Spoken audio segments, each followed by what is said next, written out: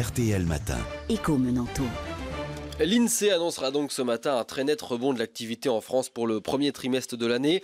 Un retour de croissance qu'on n'attendait pas forcément, Christian Melanto. Oui, c'est effectivement c'est une montée en température assez surprenante de l'économie française. Nous étions depuis plusieurs trimestres à la traîne de nos voisins. Eh bien, nous sommes brutalement revenus dans le peloton avec un rythme de croissance de l'activité de 0,6% pour le seul premier trimestre de l'année. C'est tout simplement une performance trois fois supérieure à celle de toute l'année 2014. Avec cet indice étonnamment musclé, tous les grands indicateurs sont actuellement bien orientés. La consommation des ménages, nous l'avions souligné, se redresse sous l'effet de la baisse des prix de l'énergie. L'investissement des entreprises retrouve des couleurs et la production industrielle a quitté sa zone d'ombre. Seul bémol aujourd'hui encore, mais de taille, le bâtiment et le BTP restent exclus de ce mouvement de reprise, ce qui a un coût social important car ces secteurs sont de gros employeurs. Bon, dites-nous, est-ce qu'on peut dire que la reprise est enfin enclenchée Écoutez, on doit saluer et apprécier cet anticyclone bienfaisant,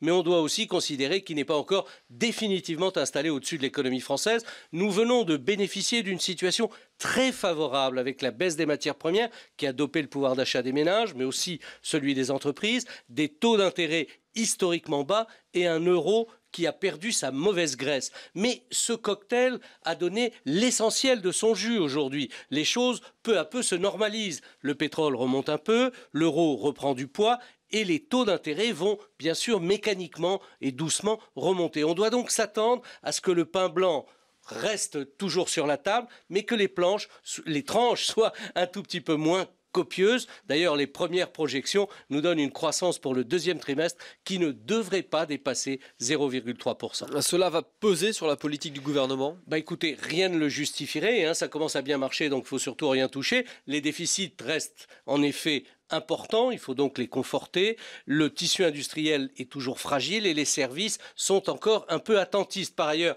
la Commission de Bruxelles ne va pas relâcher sa pression. Nous sommes toujours structurellement le grand pays le plus fragile de l'Union européenne. Et puis surtout, le défi du chômage de masse impose de rassurer les milieux économiques sur la cohérence des choix qui sont annoncés par l'exécutif. C'est même la condition essentielle à une consolidation de la reprise en France et du retour de la confiance. Vos repères du jour maintenant Eh bien, moins on est en pleine période de rédaction de nos feuilles d'impôt et sachez que moins d'un ménage français sur deux 47% exactement payent l'impôt sur le revenu en France et ce chiffre devrait encore baisser l'an prochain. La note du jour 13 sur 20 à Ferrari, le célèbre constructeur de bolide sera la future attraction du parc de loisirs Aventura de Barcelone, ouverture prévue en 2016 et 5 millions de visiteurs attendus pour faire vroom vroom. Ah, rien que ça. Merci Christian Menanto, et Menanto à retrouver sur rtl.fr à la rubrique podcast.